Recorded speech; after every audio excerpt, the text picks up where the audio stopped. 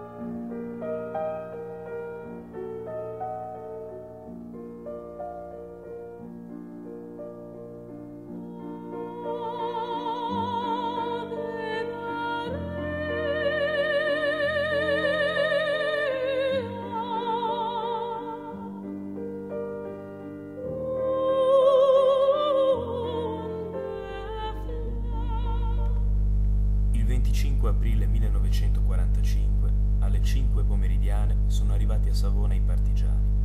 Noi stavamo alla finestra. Ci venne chiesto del materiale di medicazione che noi fornimmo volentieri.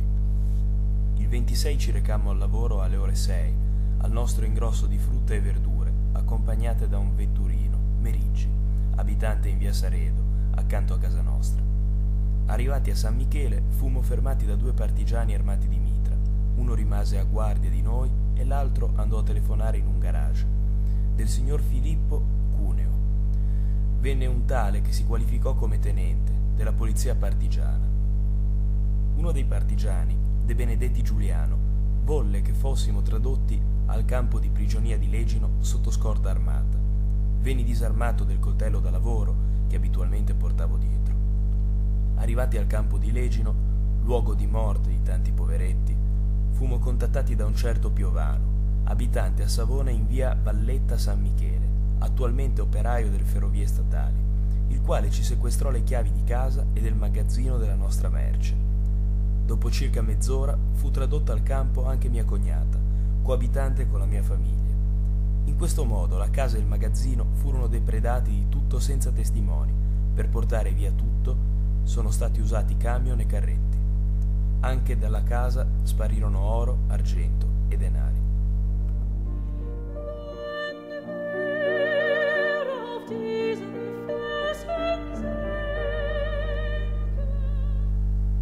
27 aprile, verso le 10 del mattino, i partigiani del campo minacciarono di morte mia moglie per sapere dove fosse la mia bambina, di appena 13 anni.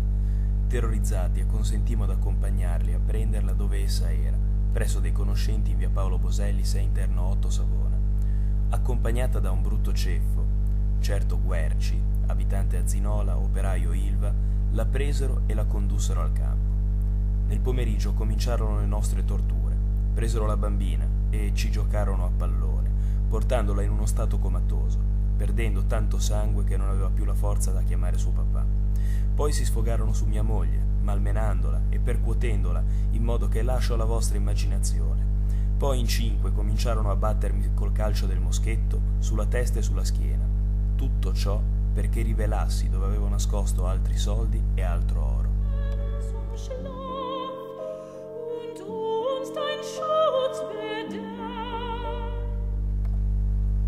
Dopo aver conciato per bene me e mia moglie da far pietà, verso le sei, mentre pioveva a catinelle, fummo condotti in via Niella, al comando partigiano, dove ci fu detto che a nostro carico non era emerso nulla.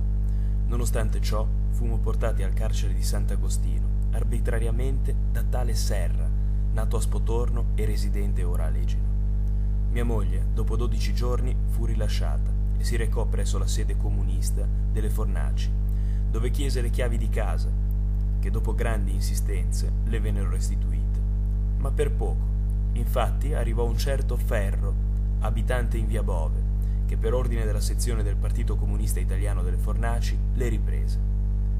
L'indomani mia moglie tornò al comando partigiano in via Montenotte e riebbe le chiavi di casa nostra, ma appena in casa entrò anche un caporione del Partito Comunista Italiano, tale Peragallo, abitante in via Tallone 912, il quale sigillò tutte le camere tranne la cucina e una cameretta.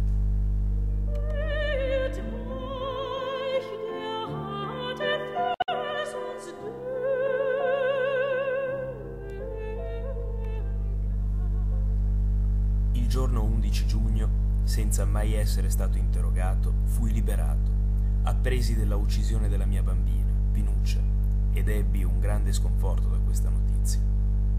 Andai in questura e chiesi di far togliere i sigilli alle camere, cosa che fece un agente.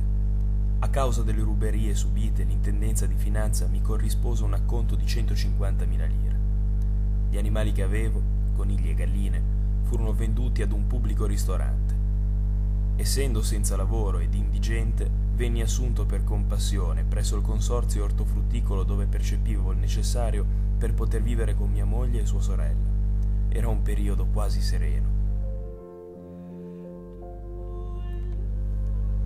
Ma una notte, l'11 luglio 1945, un gruppo di persone tentò di forzare la porta di casa per prelevarmi e farmi fare la stessa fine di mia figlia e di molti altri La porta per fortuna non cedette e quella notte salvammo la vita.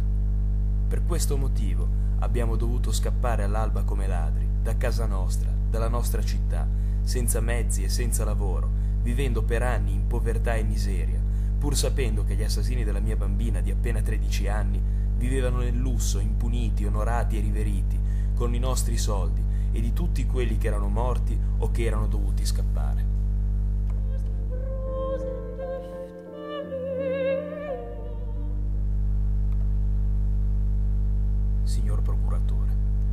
Mia figlia fu assassinata il 30 aprile del 45 dopo mezzanotte alle 4 del mattino a Legino e fu portata al cimitero di Zinola e buttata come un sacco di patate nel mucchio dei morti ammazzati che tutte le notti riempivano il piazzale davanti al cimitero.